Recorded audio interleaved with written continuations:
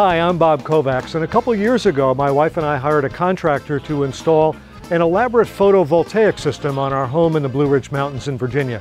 A number of people have asked me over the years to get a tour of the system, and our house is kind of inconveniently in the woods, so there's no easy way to get a tour. So I thought I'd make a short video giving a tour of our system. So this is our roughly four kilowatt photovoltaic system. It consists of 18 photovoltaic panels on the roof of our home in the Blue Ridge Mountains in Virginia. Go ahead and take a look. This is my house in the rural Blue Ridge Mountains. It's really quite rural out here and the house almost looks as if it's dropped right into the middle of the forest. There is forest all around it and you see on top there are the solar panels. There's a total of 18 of them. Each of these solar panels is rated at 235 watts. Underneath each panel is a dedicated power inverter so that the solar panel plus the inverter actually makes 240 volts up on the roof that makes it easier to wire the system into the house. There's not much to see for our solar panels inside the house. This is pretty much it. This is the control box. Now we've got full midday sun and you can see that we've got about uh, 3,240 watts of power that we're generating. It will go a little bit higher, but that's pretty darn close to the maximum right there. And just to the right of that, you see 6,715. That's the maximum number of uh, the total kilowatt hours that we've generated with our system.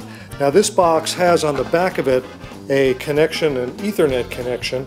That's uh, uh, right about in the middle of the screen right there. Now this can connect to a router, an internet router, and then it will uplink the data to the Enphase website and you can get the data anywhere you have an internet connection. But unfortunately, we don't have a permanent internet connection at this house, so we can't connect to the Enphase website. The photovoltaic system on the roof is wired to this circuit breaker panel down in my basement. To make the system work, the technicians that installed it had to put in conduit to carry power from the solar panels down the outside of the building all the way over to the main cutoff box which is located right here. Now this main cutoff box is used by the power company in the event that there might be some sort of uh, uh, accidental feedback from the system into the power grid. We wouldn't want that to happen.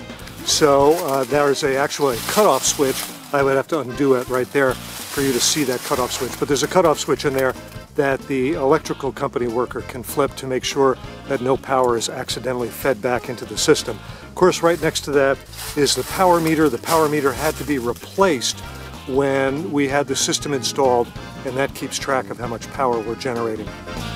And that's a quick look at the photovoltaic system installed at my home. We installed it about two years ago, and it's been running perfectly ever since.